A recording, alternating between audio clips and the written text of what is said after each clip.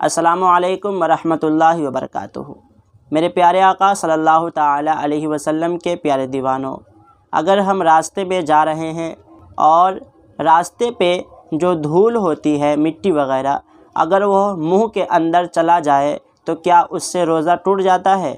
मेरे प्यारे दोस्तों, उससे रोज़ा नहीं टूटता है। तो उम्मीद है आपको मेरी बात समझ में आ गई होगी। तो मिलते हैं फिर दूसरे वीडियो में। जब तक के लिए अस्सलाम वालेकुम अल्लाह हाफिज़।